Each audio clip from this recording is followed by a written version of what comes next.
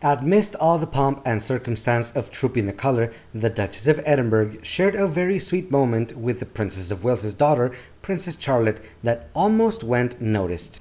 In one candid moment, Charlotte leaned in close to her great aunt for a chat, and Sophie turned her attention to the eight year old to join in with the conversation.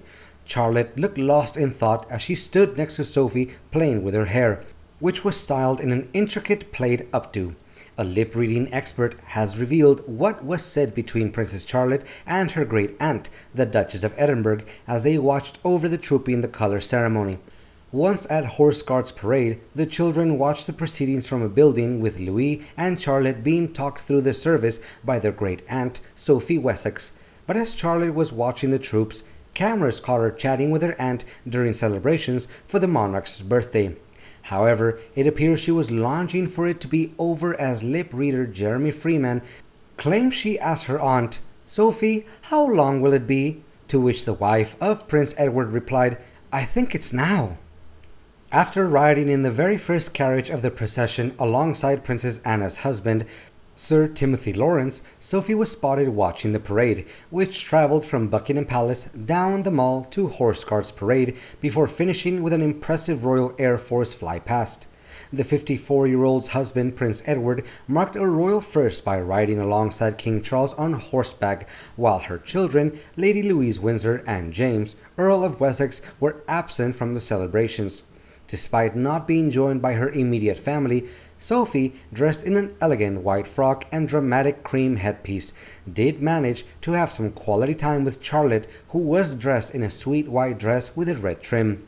While Charlotte remained very well behaved throughout the celebrations, her youngest brother was spotted showing off his cheeky personality, turning around and pointing during the carriage procession. George not only suffered an accidental sneeze while in the carriage, but he also left fans in stitches as he joined in with Louis's games and pulled faces on the balcony.